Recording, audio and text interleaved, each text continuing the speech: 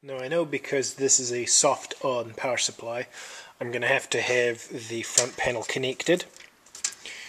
Uh, well, I suppose I could manually short out some pins, whichever one, using a continuity meter I can tell goes to the um, on switch on the front of the panel, but that's kind of cack-handed. Um, but I need to know what voltages I should be expecting out of these, and because I haven't managed to find any data sheets for the power or uh, the card cage, the tape driver, the hard disk, I'm left to do some guesswork. Now I know that the hard disk uses plus 5, plus 12, and minus 12 volts. And if we look at the cable here, we've got red, black, grey, and orange. And I'm going to make some assumptions. They may not be 100% correct but they're going to be pretty solid. Black is always ground, always. You'd have to be a really sadistic son of a bitch to not have your black wires as a ground. Red is damn near always plus 5 volts, at least in a system like this, it, it, it's just going to be plus 5. So is with orange and grey. Orange is usually plus 12. That's carried on right through to AT power supplies and ATX power supplies and PCs. So again, it's a fair assumption, which leaves grey, which is most likely minus 12 volts. And again, this is an assumption, but what we're trying to do here is power the supply on and then using a voltmeter test what's coming out of these outlets here. So if I'm wrong, all I'm going to do is come up with a voltage that doesn't match what I'm expecting. But given I know that this only has ground plus 5, plus 12, minus 12, I should expect those voltages coming out. Obviously, if I got um, plus 5 on this and then plus 12 on this red line, that would be a pretty good indication that something's gone wrong because again you'd have to be really sadistic to have two lines of the same color that do different things. Now I don't know what this requires. I know this requires those voltages because there is some documentation on them, and most conveniently, there's a sticker on the front that gives the supply voltages. This I'm not so lucky on. However, we go back to our colours, and we have black, red, purple, and grey. in this case, I'm going to run by the same set of logic here. Black is ground, red is plus 5, grey is presumably minus 12, and purple is probably plus 12 and I'll explain how I come to this conclusion. What we've got next is the card cage, and the card cage had no documentation at all. And so I thought for a while as to how I was going to do this, how I was going to come up with this. And it occurred to me that I can get pinouts for the bus very easily. So this is what we have here. We've got um, a description of how the pins are set. This is from the underside, the pins are staggered, and then all of the pin numbers and their identifiers. And the way it works is that you have, um, what the hell are they called? Segments, I think. And so you have A, B, C, and D, as in this is slot A, this is, or this is uh, segment A, segment B, segment C, segment D and then you have side 2 and side 1 and it goes A through V. And they've missed some letters to, uh, to ensure that you don't get confused with two letters that look similar or a letter that looks like a number. So it goes A B C D E F H J K L M N P R S T U V which you won't have to memorize. There won't be a test. But, so, the pin identifier starts with the segment, then the pin name, and then the side number. So, this pin here is um, A for segment A, A for pin A, 2, because this is side 2 away from us. So that's AA1. So this one here is AV2, and then this one here is AV1. Which, when you're talking about all four segments and both sides and shit like that, it gets really confusing really quickly. But I have the voltages marked out. I've got plus 5, minus 12, a whole bunch of grounds, plus 12, plus 12B, plus 5B. B is battery, as in battery backed up. The Q-bus as well as the Unibus allows you to have um, a battery backup, and it was usually used for if obviously the power, went, the power supply went out, then the core memory was usually maintained by the supply. So, because uh, the core is uh, volatile, that way, when you brought the supply back on and the um, board came back up, it could continue on from where it left off. This obviously does not have a battery, so there's going to be nothing on these lines. Ground, plus 5, da da da da da.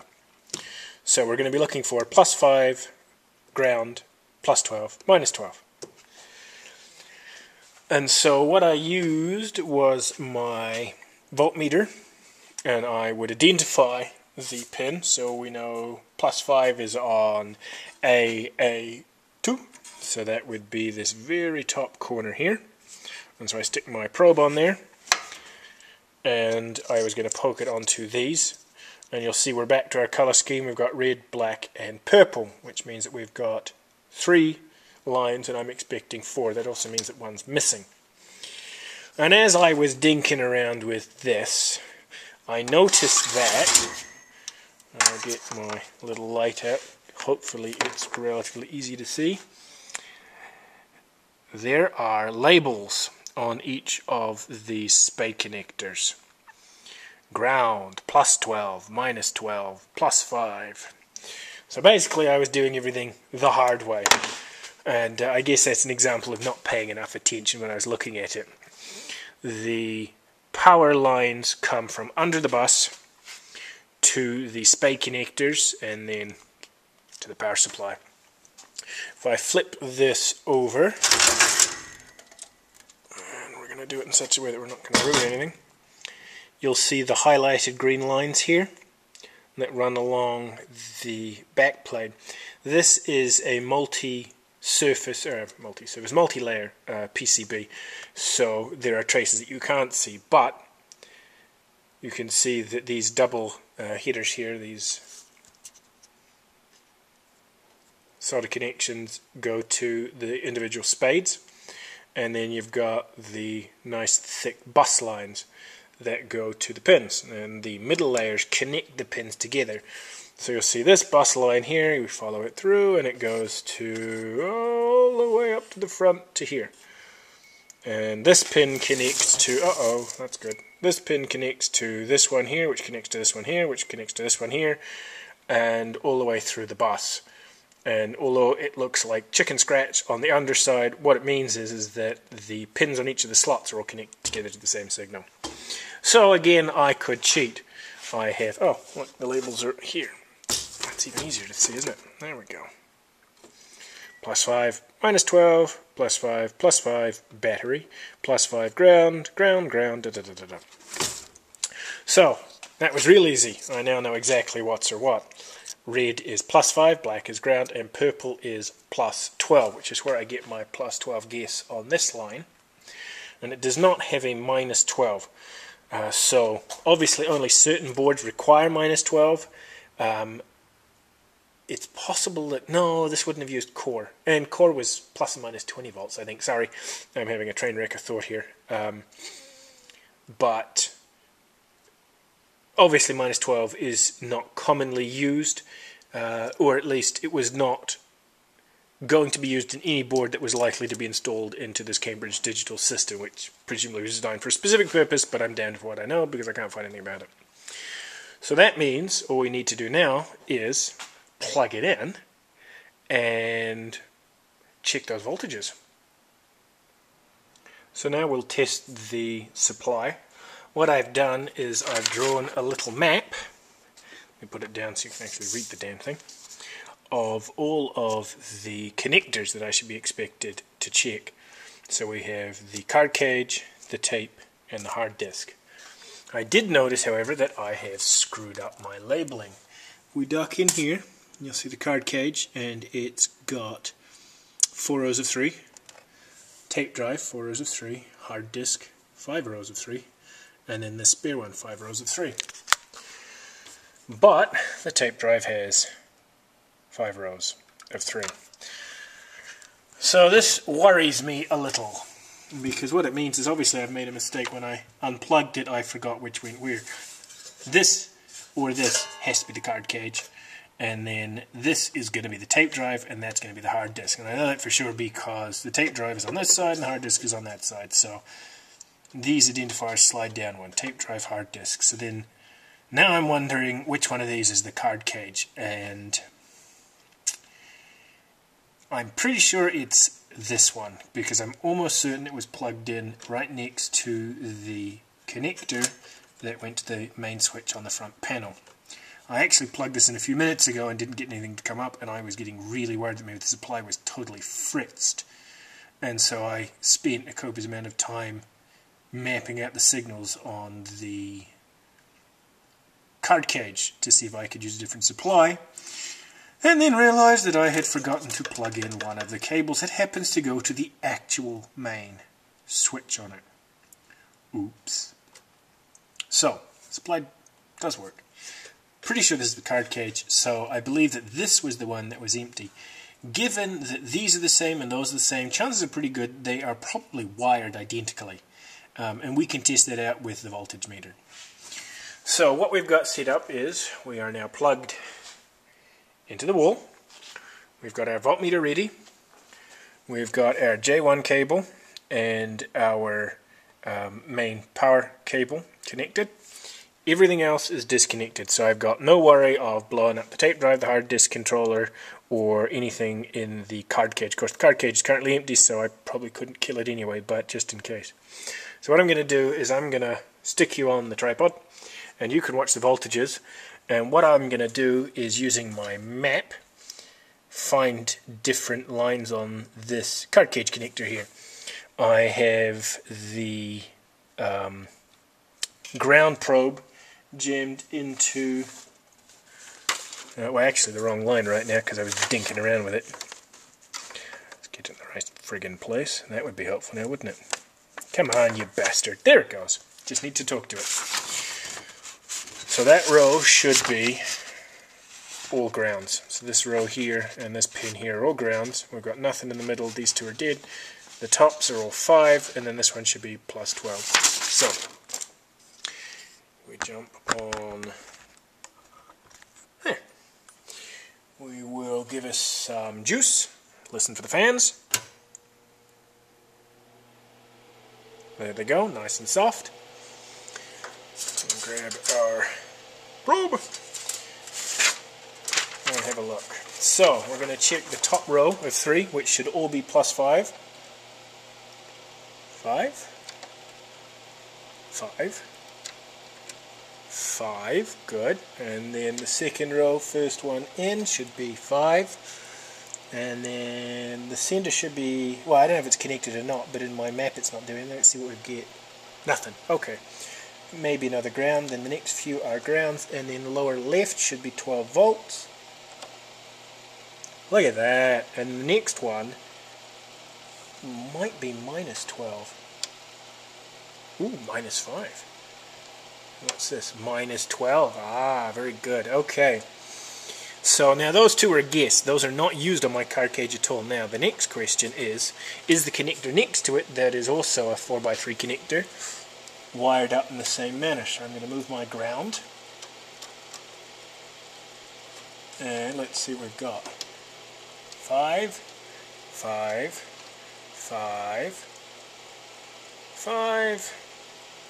Uh, disconnected. The rest of those are ground, so we should have plus 12. And from the previous one, minus 5, and then minus 12. Okay, well that's a good sign. That means that even though I've mislabeled the tape drive, both of those connectors are identical, so it shouldn't matter a shit which one I plug the card cage into. Now we'll move along one more, and we're going to have a look at the tape drive. And that only has four wires on it, which is plus 5, plus 12 ground, and then minus 12. So we'll move it to the ground. And then this one should be plus 5. Sweet. Plus 12. Sweet. And minus 12. Excellent. Now, I note that my tape drive here, oh, I'm up one. We have minus 12 here, minus 12 here, plus 12, not connected, plus 12 is down here. So now it just could be a, a total um, fluke that they're wired up differently, but it also may mean that these two connectors are not the same. So, let's check the hard drive connector, and we'll shove it in what should be a ground for both of them. Ooh. Oh, that's not cool, bro. That's not cool. Oh, that's interesting. Why is it going down? Uh, what I've got it connected to right now is the um, power supply chassis. It continues to drop. How extraordinarily odd. Well, I'm going to put that one down to my lack of understanding in basic electronics. But when I hit it and it had plus 12 volts, I got a little worried that the friggin' thing was live there for a second. Nothing like frying off your testicle here to ruin a Sunday morning. Uh, where were we? Right, plus 5 should be up here. And over here. And then this one should be plus 12 if it matches the other connector, which it does. Interesting. And then bottom left should also be plus 12. Whoa! So we have plus 24 there. And then this middle one should be minus 12. Well, given all of the supplies are good right now and everything looks nominal and there's no serious ripple, my guess is I must have made a bad assumption when I was working out my supply lines because that is a very nice and clean plus 12 volt, uh, sorry, plus 24 volts, and that is on the hard disconnect. So let's get the voltage meter out of it. Let's disconnect all this shit, and then we'll unplug it just to make sure I don't do that aforementioned uh, fry job. And so that goes to the hard disk. So let's flip the hard disk around.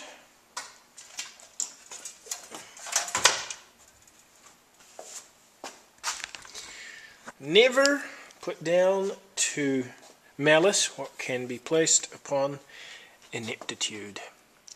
Plus 24 volts, plus 5 volts, minus 12 volts. I misread the damn thing.